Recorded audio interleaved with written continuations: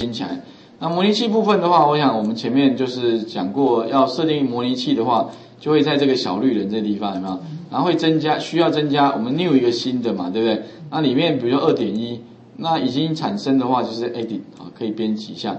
那因为这是新的版本啊，所以后来我用新的版本啊。那给二点一，然后 device 我用四寸的，好，大概四寸。那 target 就是说呢，哈，我们用二点一的版本的 SDK。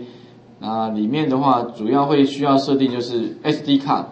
给它大概是二五六，其他的话大概就用预设的就可以了，好，然后我们就按确定，就会产生一个新的模拟器，好，新的模拟器，那把它做一个啊执行，执行起来之后呢，就会可以看到像这样的一个模拟器。那我因为我用的是二呃四 D 四二一，就是最新的。它跟那个我们昨天的不太一样的地方，就是在这个键盘不见了，啊，其他都一样，哦，新的版本，而且新的版本感觉起来，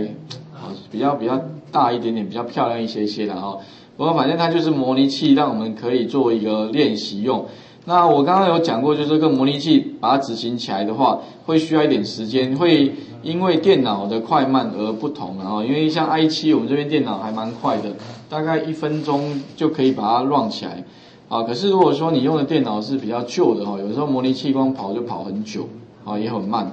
啊，所以这里的话呢，第一个我们确就是说呢，我把它执行起来，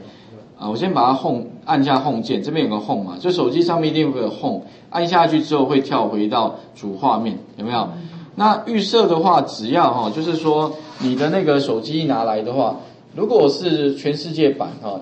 从国外拿回来的，它一定是英文版环境。所以呢，如果你今天拿回来，你要变成啊繁体中文的话，你自己可以设定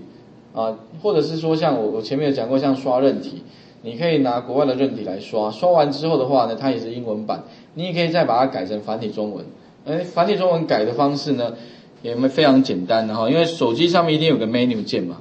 哦 menu 键，每一只手机都一样，HTC 或 Samsung 都一样，一定有个 menu 键按下去。在 home home 就桌面上哈，按 menu 的话，这边有个 setting，setting 的话呢，各位可以看到，那这边就会往上推好了，按住不要放，就是 touch 哈，然后呢会有个 language and keyboard，就是设定那个 menu 点下去的话哈，就会有个 A 就是我们的语系，然后最上面有个 select locate，